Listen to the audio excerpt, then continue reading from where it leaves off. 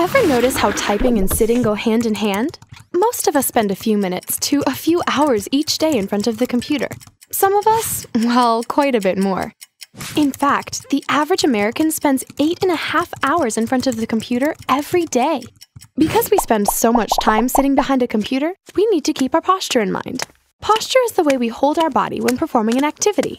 While activities like running or swimming might be the first to come to mind, sitting is also an activity.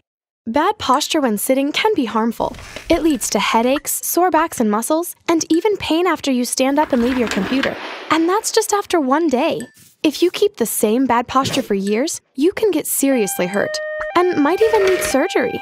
Good posture, on the other hand, helps improve our concentration, letting us work longer and harder. It also prevents sore muscles, leading us to feel happier and healthier, both at and away from the computer. Now that we're all sitting, let's practice good posture together. Are you ready? Okay. Pretend you're at a fancy restaurant. Sit straight, don't slouch or slump. Look straight ahead. Make sure your eyes look directly into your monitor, the same way you would look at someone across the table from you. You don't want to have to point your head up or down. Adjust the height of your seat or your screen if you need to. If your feet don't reach the ground, make sure to use a footrest. Don't rest your forearms on the desk or armrests. Your wrists should hover just above the keyboard without touching it.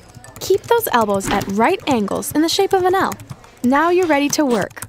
These tips are good to keep in mind, whether you use a desktop, laptop, or even a tablet. Remember to check your posture every 15 minutes. If you notice you are slouching or slumping, take a moment to fix your posture. Your body will thank you. Taking a short break every hour also helps. In case you ever forget, try to remember this sit straight, be healthy.